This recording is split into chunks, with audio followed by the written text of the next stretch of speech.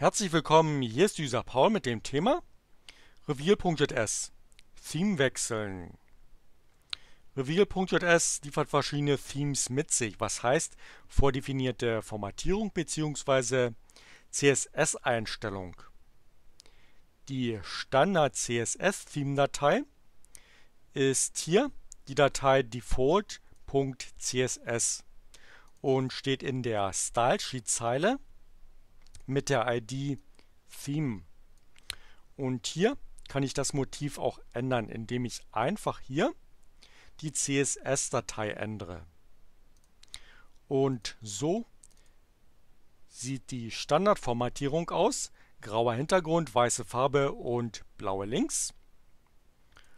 Und jetzt einfach ändern. Die Theme-CSS-Dateien befinden sich im Verzeichnis CSS. Theme.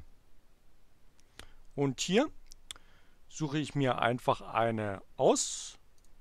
Und die kann ich dann hier nutzen, zum Beispiel das Motiv Blood, B-L-O-O-D, dann einfach die Änderung speichern.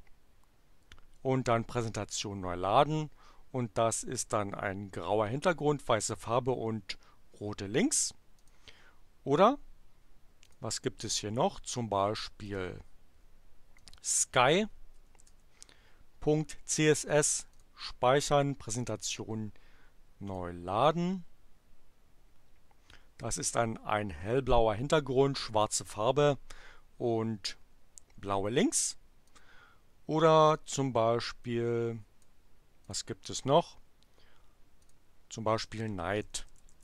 Night.css speichern, neu laden und das ist dann schwarzer Hintergrund, weiße Farbe und orangene oder gelbe Links.